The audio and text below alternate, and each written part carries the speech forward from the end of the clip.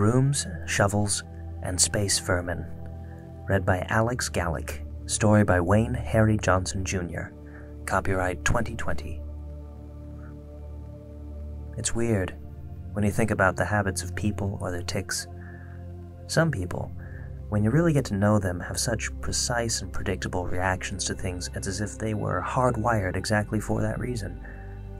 I'm not talking about the weird guy at work who has a ritual on how to use the microwave, or those people so entangled in their minds that they have the obsessive compulsive disorder, but I'm talking about the people that get what we call the willies. Maybe I'm pigeonholing this a bit.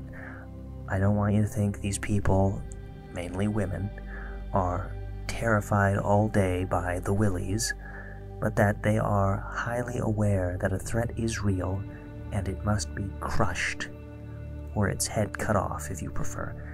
Their skin crawls when they sense any little evidence of vermin.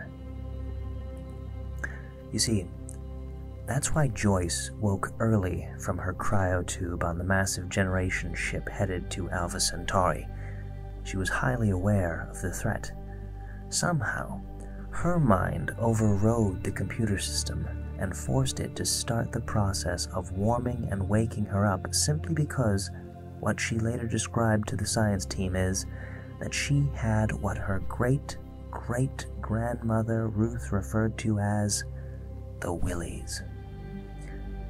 Whatever it was, it made her skin crawl, and that's why she went for the tool locker and found the next best thing to a shovel the thermal detector had a nice long handle and a sharp edge at one end.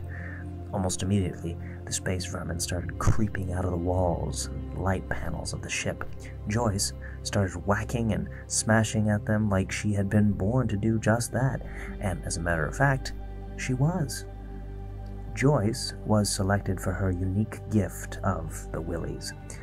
The scientists building the generation ship to travel to Alpha Centauri thought of every contingent, including the possibility of space vermin.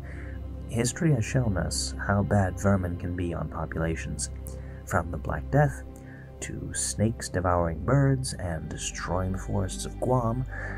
It was obvious that the generation ship needed a Joyce.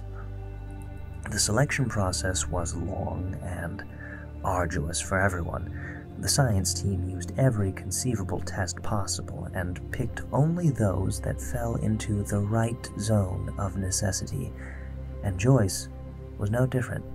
You see, she came from a small farm in south central Minnesota where there wasn't any real interest in Alpha Centauri and a damn fool generation ship, as the locals at the bar often referred to it. But Joyce was a little bored of watching the robots tend the fields and milk the cows. The only time she was needed was if one of those contraptions got stuck in the mud on the back 40.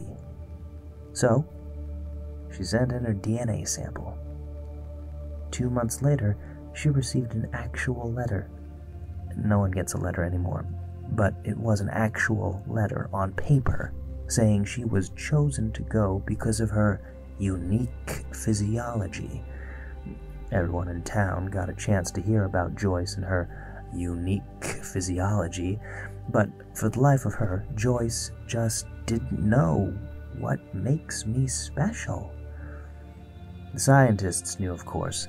They found out that Joyce came from a line of women who had an innate knack at finding and exterminating vermin throughout history. Joyce's ancestors were so effective that in one small town in Germany during the Black Death, no one ever got sick. Why? Joyce's ancestor, Elsie, killed every rat that ever entered the town.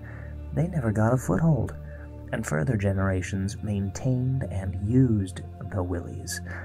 Her great great grandmother Ruth had a knack against mice, and her mother against snakes. So Joyce, not exactly sure why she was going, but knowing she was needed, got aboard the Generation ship.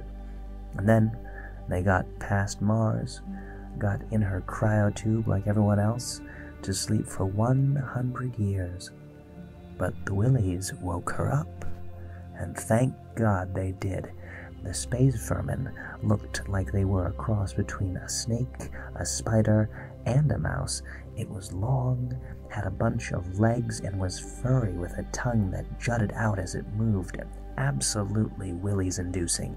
But the more Joyce's skin crawled, the angrier she got. She went on a relentless campaign, chopping the heads off of every space vermin she could find. For months, she waged war against the infestation.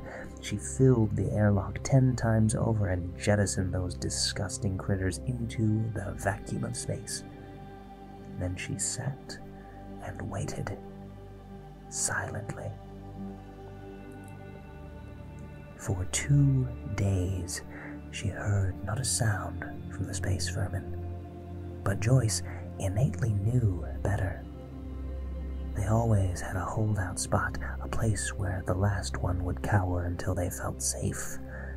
So she waited. And in the pitch black on the second day, it crawled out, and Joyce, with the flick of her wrist, sent the head flying one way and the body the other. It was finished. She swept up her mess, put the tools back, a bit worn but functional, and after a good shower and a meal, she went back into her cryotube to sleep for another 70 years or so, or until the willies woke her again.